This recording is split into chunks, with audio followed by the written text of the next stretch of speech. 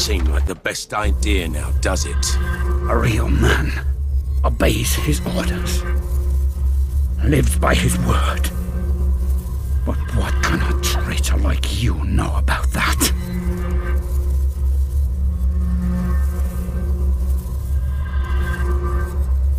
I'm not a traitor.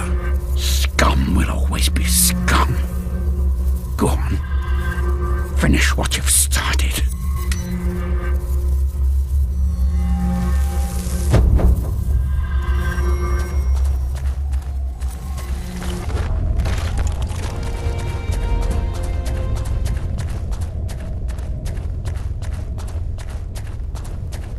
He's lost his mind. All is lost.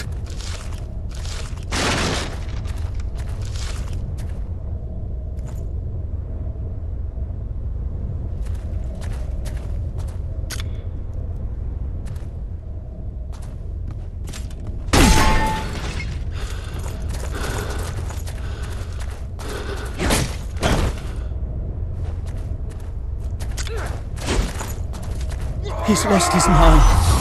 All is lost.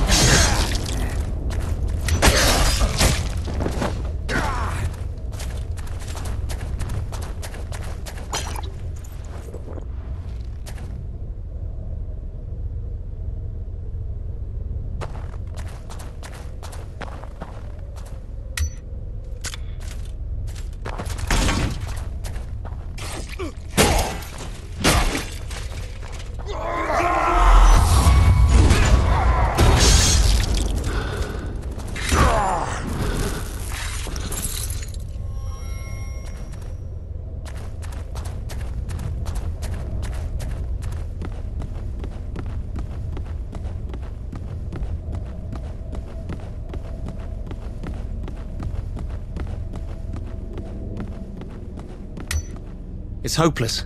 Nothing can save us now. He's lo-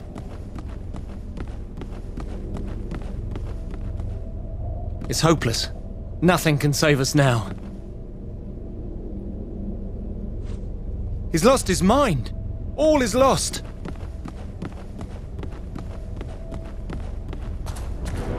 My visions were right. This to you. Harkin is a man of kinds pride. weapons he are would defy God. He would restore balance. I saw him. A peculiar rune you have. A tool of chaos.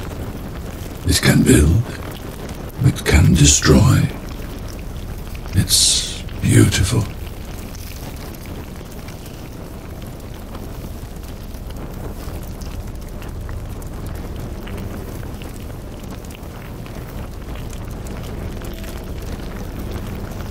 Tell me about the rune. It's unlike anything, yet contains everything. Power born from weakness. Weakness turned into power. Thanks for the explanation. I guess.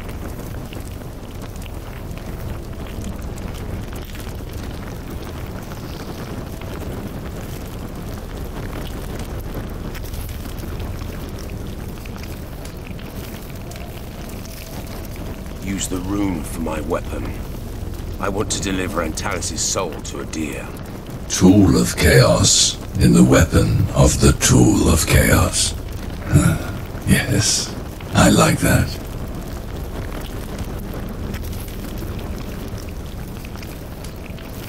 I changed my mind. Use the rune for my armor. I want to protect myself with it. Tool of chaos used to shield. I changed. him.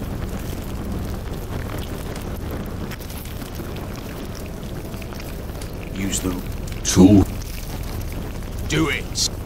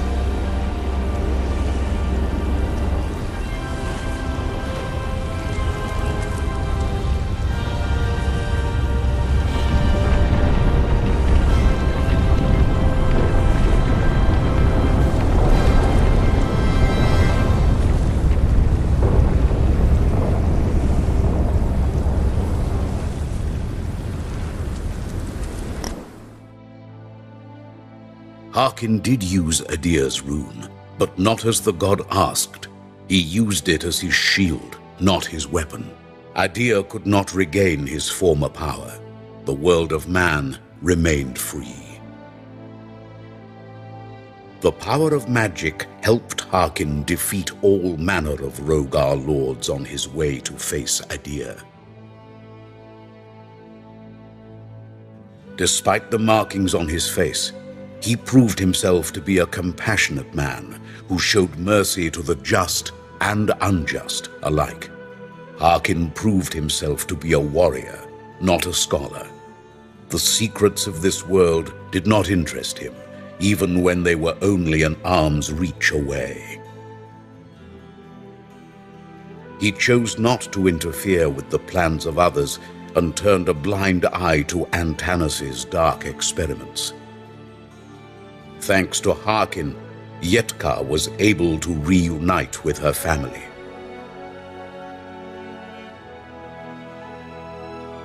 The Crafter's crystal was returned to him. He went back to his dimensional travels and studying runes.